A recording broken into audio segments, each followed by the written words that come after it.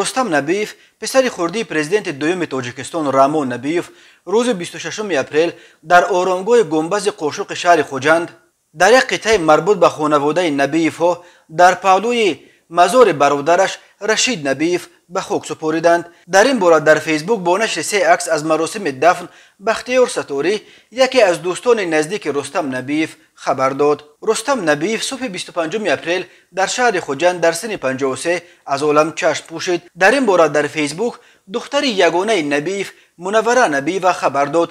Ӯ дар бораи сабаби марги додараш чизе нагуфт. Ва танҳо ҳамин қадар навишт ки ҷои додарам ҷанг нашавад худованд раҳмат кунад. Рустам набиев ки аз рӯи касб табиб буд солҳои зиёде роҳбарии ширкати маводи сӯхти зуҳробод газпромнефт таҷикистан баъдан дар заминаи амин ширкати набиев рӯи кор омад. Бахтиёр саторӣ навиш рустам набиев соҳибкори дастбахайре буд ва ҳамеша ба ятимхонаҳо ва муҳтоҷон кӯмак мекард. Бино ба иттилои ӯ тоза 11 апрели соли ҷорӣ дар солгарди марги падараш рустам набиев ба ятимхонаи хуҷанд маҳсулоти хӯрокворӣ хайр карда буд.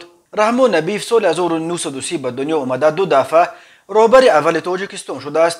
Солҳои 1982-1985 ба ҳайси котиби якуми кумитаи марказии ҳизби он вақтҳо ҳокими коммунист ва дар тирамоҳи соли 1991 ба ҳайси дуюмин президент ва нахустин президент дар овоздиҳии умумихалқии интихобшудаи ҷумҳурӣ.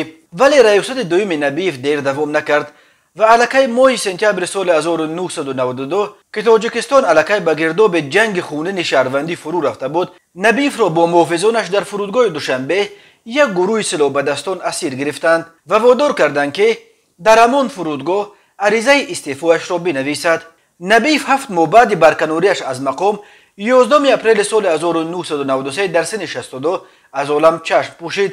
Иллати расмии марги ӯ сактаи қалб эълон шуд вале фарзандони набиев ба фарзияи расмии марги ӯ ҳамеша шубҳа доштанд аз раҳмон набиев се фарзанд ду писар рашид ва рустам ва як духтар мунаввара боқӣ монд.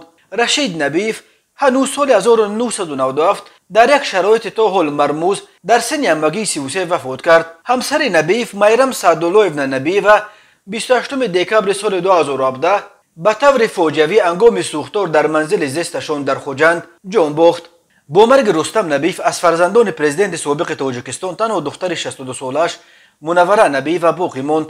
Мунаввара ҳамсари собиқ овозхони шинохта далер назаров ва номзади илмҳои иқтисодӣ буда солҳои зиёд дар академияи илмҳо кор кардааст. Ӯ дар душанбе ба сар мебарад ва солҳои охир бо додараш рустам бар сари хонаи падараш судбозӣ дошт. Хонаи набиев дар маркази душанбе дар ҳамсоягии хонаҳои президенти кунунии тоҷикистон эмомалӣ раҳмон шоира гулрухзор ва собиқадори ҳизби коммунист низорамо зарипова ҷойгир шудааст